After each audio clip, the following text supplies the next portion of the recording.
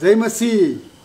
यो आइतबारको दिनमा दुनियाँभरका मानिसहरूले फादर्स डे भनिकन मनाइरहेका छन्। अनि आज तपाईँहरूलाई म बाबुको बारेमा केही कुराहरू बताउन चाहन्छु। आज प्रभुको वचन पढ्न चाहन्छु जो तपाईँले पाउनुहुन्छ। व्यवस्थाको पुस्तक छ अध्याय चार पाँच र छ र नौसम्म पढेर सुनाउन चाहन्छु। हे इजरायल सुन परमप्रभु हाम्रा परमेश्वर एउटै परमप्रभु हुनुहुन्छ। तिमीहरूले परमप्रभु आफ्ना परमेश्वरलाई आफ्नो सारा हृदयले आफ्नो सारा प्राणले र आफ्नो सारा शक्तिले प्रेम गर। मैले आज तिमीहरूलाई सुनाएका आज्ञाहरू आफ्नो मनमा राख। ती तिमीहरूले आफ्ना छोराछोरीहरूलाई होसियार साथ सिकाऊ। घरमा बस्दा बाटोमा हिँड्दा ढल्केर सुत्दा र उठ्दा तिनको चर्चा गर। ती आफ्नो हातमा चिन्हको लागि कसिराख ती तिमीहरूको निधारमा बाँधिराख ती आफ्ना घरका द्वारको चौकस र मूल ढोकाहरूमा लेख।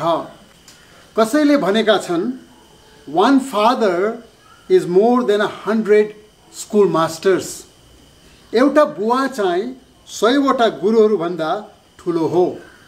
अनि आज फादर्स डे भएको कारणले परिवार सम्बन्धमा तपाईँहरूलाई केही कुरोहरू म बताउन चाहन्छु सिकाउन चाहन्छु सेयर गर्न चाहन्छु। आज हामीहरूको शरीर परिवार जो छ हामीहरू देख्छौँ भत्किरहेको छ। फ्रेगमेन्टेड जहाँ जहाँ हामी हेर्छौँ पूर्व देशमा हेर्छौँ पश्चिम देशमा हेर्छौँ हाम्रो आफ्नो देशहरूमा हेर्छौँ हाम्रो समाजमा हेर्छौँ अनि यो भत्किएको परिवारहरू चाहिँ एउटा धर्म मात्र होइन हरेक धर्ममा हामी लगातार देखिरहेका छौँ। अनि यदि समाज बलियो बनाउने हो भने परियो परिवारलाई हामीले बलियो बनाउनुपर्छ र परिवार र समाज बलियो भयो भनेदेखि हाम्रो राष्ट्र पनि बलियो हुन्छ। त्यसको लागि बाबुको भूमिका मेरो विचारमा एकदमै ठुलो र जरुरी छ। अनि मसी परिवारमा बाबुको भूमिका कस्तो हुनुपर्छ त्यसको बारेमा म तपाईँहरूले केही भन्न चाहन्छु। र यो कुरो चाहिँ मसी परिवार मात्र होइन सबै परिवारमा एक प्रकारले लागु हुन्छ। सबभन्दा पहिले कुरो के भन्न चाहन्छु भनेदेखि बाबुहरूले परिवारको सेवकाई गर्नुपर्छ। तपाईँ भन्नुहुन्छ होला पास्टरजी यो त विचित्र कुरा हो। परिवारले पो बाबुको सेवकाई गर्नुपर्छ। श्रीमतीले श्रीमानको सेवकाई गर्नुपर्छ। नानीहरूले बाबुको सेवकाई गर्नुपर्छ। तपाईँले के भन्नुभएको? म तपाईँलाई सानो उदाहरण दिन चाहन्छु। प्रभु यीशु मसीहले आफ्नो चेलाहरूका खुट्टाहरू धुनुभयो।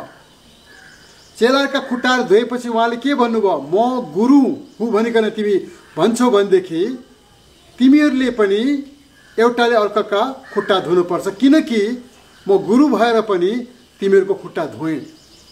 अनि एउटा ठुलो प्रिन्सिपल तपाईँ र मैले हामी एउटा बाबुको रूपमा यहाँ सिक्न सक्छौँ। त्यो कुरो के भनेदेखि परमेश्वरले हामीलाई घरको सबभन्दा मुखिया बनाउनु भएको छ। We are the head of the family अनि हामीहरू परिवारको सबभन्दा ठुलो मुखिया भएको कारणले हाम्रो सबभन्दा ठुलो के कुरा के हुँदो रहेछ भनेदेखि हामीले परिवारको सेवकाई गर्नुपर्छ। परिवारको देखभाल गर्नुपर्छ। कसरी गर्ने? अनि म तपाईँलाई भन्न चाहन्छु त्यो चाहिँ के भनेदेखि परिवारको हरेक कुराहरूको खाँचोलाई हामीले पुरा गर्न सिक्नुपर्छ। जसरी प्रभु यीशु मसीहले आफ्नो मण्डलीलाई प्रेम गर्नुभयो आफ्नो चेलालाई प्रेम गर्नुभयो त्यसरी नै हामीले पनि हाम्रो परिवारलाई प्रेम गर्नुपर्दछ।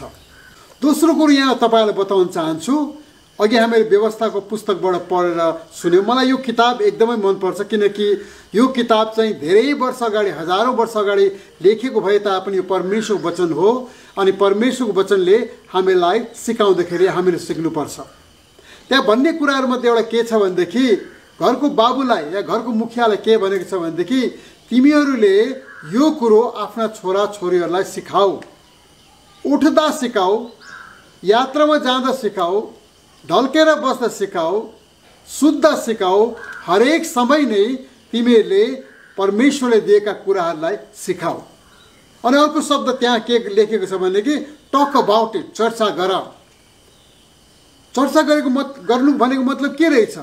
त्यसको बनाएको मतलब मेरो हिसाबमा आजको समयमा र त्यो जमानामा जमानामा पनि हामी भन्न सक्छौँ कि परमेश्वरको वचन कतिवटा हामी जब पढ्छौँ त्यसको आधार के हो के भन्न खोजेको? अनि त्यो भनेको कुरालाई आज हामीहरूको समसामिक दुनियाँमा हाम्रो परिवारमा हाम्रो बजारमा हाम्रो फाइनेन्समा हाम्रो सम्बन्धमा हाम्रा सारा कुराहरूमा हामीले कसरी चलाउनु पर्छ? चर्चा गर भनेको मतलब चाहिँ talk with your children discuss गर। उनीहरूले तिमीहरूलाई सोध्लान् बाबा यसको मतलब के हो? तपाईँहरूमध्ये धेरैलाई सायद सोध्न सक्छन् आफ्नो नानीहरूले कि आजको मोडर्न दुनियाँमा बाबा हामीहरू कसरी मसिह जीवन बिताउन सक्छौँ? के हामी सक्छौँ त? के हामी कलेजमा बिताउन सक्छौँ? के हामी करियरमा बिताउन सक्छौँ? के हाम्रो साथीहरूसँग हामी क्रिस्चियन जीवन बिताउन सक्छौँ। वाट आर द प्रिन्सिपल्स सिद्धान्तहरू के हो? तपाईँलाई सोध्लान् अनि तपाईँले परमेश्वर वचनलाई खोलेर पढेर पढेर सुनाइदिने मात्र होइन। अनि उनीहरूले पढ्ने मात्र होइन। उनीहरूले यसको बारेमा डिस्कसन अनि चर्चा र वार्तालाप अनि कम्युनिकेसन गर्न एकदमै जरुरी छ। तेस्रो कुरो तपाईँले के भन्न चाहन्छु भनेदेखि एज अ फादर तपाईँ परिवारको प्रोटेक्टर हुनुहुन्छ। तपाईँ परिवारको सुरक्षा गर्ने व्यक्ति हुनुहुन्छ। तपाईँको घर सानो होला झोपडी नै होला एउटै कोठामा चार पाँचजना कोचेर तपाईँ बस्ने स्थितिमा तपाईँको होला या तपाईँको आफ्नो राम्रो घर होला आफ्नो आफ्नो बेडरुम बाथरुम भएका घर होला त्यसमा केही फरक पर्दैन। नानीहरू कोचरेर बस्न पनि तयार हुन्छन्। नानीहरू दुःख पाउनु दुःख सहन पनि तयार हुन्छन्। तर जहाँ जहाँ हाम्रा नानीहरू बस्छन् बाबुले चाहिँ उनीहरूलाई सुरक्षा प्रदान गर्नुपर्छ। जब बाबु बाबु घरमा आउँछन् जब ड्याडी घरमा आउँछन् लुकेर भाग्ने होइन गरेर कुरालाई लुकाउने होइन डराउने होइन बाबुलाई स्वागत गर्ने किनकि हाम्रो रक्षा गर्ने बुवा उहाँ आउनुभएको छ र उहाँले हामीलाई रक्षा गर्नुहुन्छ। त्यति मात्र होइन। समाजमा तपाईँको नाम कस्तो छ? त्यो पनि एकदम जरुरी छ। यदि मानिनुहोस् तपाईँ तपाईँको समाजमा तपाईँ राग सक्सी खानुहुन्छ जाँड खानुहुन्छ बदमासी गर्नुहुन्छ चोरी गर्नुहुन्छ तपाईँको नाम बदनाम छ। अनि जब तपाईँका छोराछोरीहरू बाटोमा हिँड्छन् जब तिनीहरूले देख्छन् कि तपाईँको छोराछोरी हुन् भनिकन उनीहरूलाई तपाईँको कारणले इज्जत गर्दैनन्। तर त्यसको विपरीत यदि तपाईँको जीवन राम्रो छ तपाईँले कमाइ गरिरहनु भएको छ मेहनत गरिरहनु भएको छ सबैसँग मिलेर बस्नुभएको छ परिवारसँग मिस मिलेर बस्नुभएको छ भनेदेखि तपाईँका परिवारहरू यताउता जाँदाखेरि पनि मानिसहरूले भन्छन् कि धन्य त्यो परिवार किनकि यस परिवारको बुवा यानि मुखिया चाहिँ एकदमै राम्रो व्यक्ति छ। सो लर्न टु प्रोटेक्ट किनभनेदेखि आज हामी देख्छौँ हाम्रो समाजमा धेरै धेरै यस्ता मानिसहरू छन् धेरै धेरै यस्ता स्थितिहरू छन् जहाँ हाम्रो नानीहरूले र हाम्रो पत्नीहरूले असुरक्षाको अनुभव गरेका छन्। यदि बाबु भएर तपाईँ कमजोर हुनुभएको छ भने तपाईँको पुरा परिवारले असुरक्षाको वातावरणमा जिउनु पर्दछ र तपाईँले उनीहरूलाई असुरक्षाको वातावरणतिर धकेल्नु भइरहेको हुँदछ।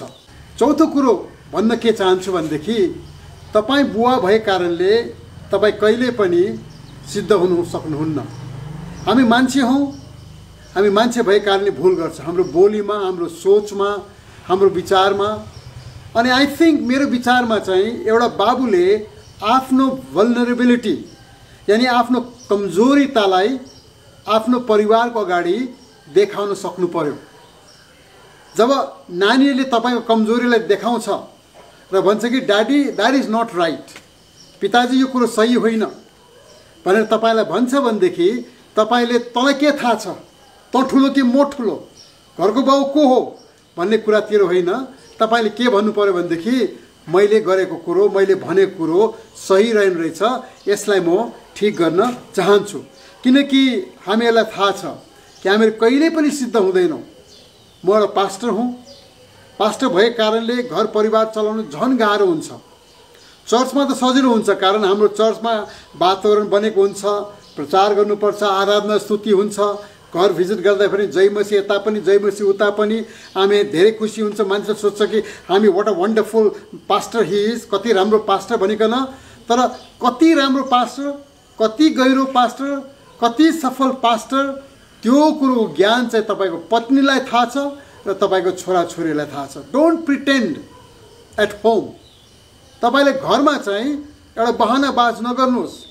घरमा तपाईँले तपाईँ जस्तो हुनुहुन्छ त्यस्तो व्यवहार गर्नुहोस् र परमेश्वरले तपाईँलाई आशिष जब तपाईँले भन्नुहुन्छ कि आइएम सरी नानीहरू तपाईँले इन्कार गर्दैन। नानीहरूको नजरमा तपाईँको र तपाईँप्रति उनीहरूको घमण्ड अझ बढ्ने हुँदछ।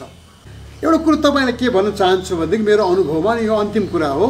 त्यो चाहिँ के भनेदेखि हामीहरूले हाम्रो परिवारहरूलाई व्यावहारिक कुराहरू सिकाउनु जरुरी रहेछ। व्यावहारिक कुरो। एउटा कुरो मात्र भन्न चाहन्छु किनकि हामी सबैलाई पर्ने कुरा नै हो। हामीसँग धेरै पैसा छ कि या कम पैसा छ त्यसको मतलब हुँदैन। पैसाको इस्तेमाल कसरी गरिन्छ पैसा कसरी चलाइन्छ त्यसको बारेमा उदाहरणको लागि त्यति मात्र भन्न चाहन्छु हामीले बच्चालाई सिकाउनुपर्छ हामीले धेरै अरू कुरा सिकाउनुपर्छ तर तीमध्ये द युसेज अफ मनीको बारेमा हामीले सिकाउनुपर्छ। म परमेश्वरलाई धन्यवाद दिन्छु कि कतिले भन्छन् कि यो पास्टर त एकदम कन्जुस पास्टर म कन्जुस पास्टर होइन। म चाहिँ किफायती पास्टर हुँ। म हरेक रुपियाँलाई कसरी चलाउने कसरी कमाउने र त्यो कमाइबाट पनि अझै कसरी कमाउने त्यो म सोच्दछु। मैले मण्डलीमा पनि कहिले पनि कसैलाई बोझ बनाइनँ। आफ्नो आफ्नो खाँचोहरू मैले बताइनँ अनि परमेश्वर मलाई दिनुभयो। र मण्डलीलाई पनि जुन मण्डली मैले चलाएँ जुन संस्थालाई मैले चलाएँ त्यहाँ पैसा रुपियाँको एक प्रकारले भनौँ भनेदेखि नदी जस्तो बगेन तर कहिले पनि घटी कमी भएन किनकि मैले तिनीहरूलाई पनि पैसा चलाउने बारेमा बताएँ। मेरो एउटा नातिनी छ छ वर्षको तपाईँहरूमध्ये कतिजनाले फोटोग्राफमा देख्नु भएको होला। मैले हिजो अस्ति उसलाई सय रुपियाँ दिएँ। ल यो सय रुपियाँ I'm giving you this hundred rupees and now I'm going teach you how to use this hundred rupees दुई चार दिन भयो मैले उसलाई सिकाएको छैन। हिजो मलाई भन्दै थियो ड्याडी तपाईँले चाहिँ मलाई ड्याडी भन्छ कोही बेला कोही बेला मलाई पापा भन्छ कोही बेला के के भन्छ। अनि मैले तपाईँले मलाई सय रुपियाँ दिनुभएको थियो अहिलेसम्म सिकाउनु भएको छैन। अनि सायद आउँदो दुई चार दिनमा उसलाई म सिकाउँछु। अलिकति त सिकाएको थिएँ। के सिकाएको थिएँ? परमेश्वरलाई दिनको लागि कहिले पनि हिचकिचाउनुहुन्न। दोस्रो कुरो के सिकाएको थिएँ? परमेश्वरलाई दिएपछि लम्बा बचतको लागि लामो समयको बचतको लागि केही पैसा राख। अनि बाँकी पैसाले तिमीले आफ्नो कामकाज चलाउन सक्छौ। म परमेश्वरलाई धन्यवाद दिन चाहन्छु। मेरो तिनजना छोरीहरू छन् अनि उनीहरूको कमाइ एक प्रकारले धेरै छैनन् फलिफाप छैनन् उनीहरू तर जति छन् उनीहरूले किफायतीसँग चलाउँदैछन्। एज अ फादर पैसा मात्र होइन सम्बन्ध सम्बन्धमा तपाईँले आफ्नो छोरीहरूलाई सिकाउन सक्नुहुन्छ। किनकि तपाईँलाई बोइज पर्सपेक्टिभ थाहा छ कि लोग्ने मान्छेले के सोध्छन् लोग्ने मान्छेको सोच कस्तो हुन्छ? उनीहरूको मन कस्तो हुन्छ? तपाईँले आफ्नो छोरीहरूलाई सिकाउन सक्नुहुन्छ। तपाईँले आफ्नो छोराहरूलाई सिकाउन सक्नुहुन्छ।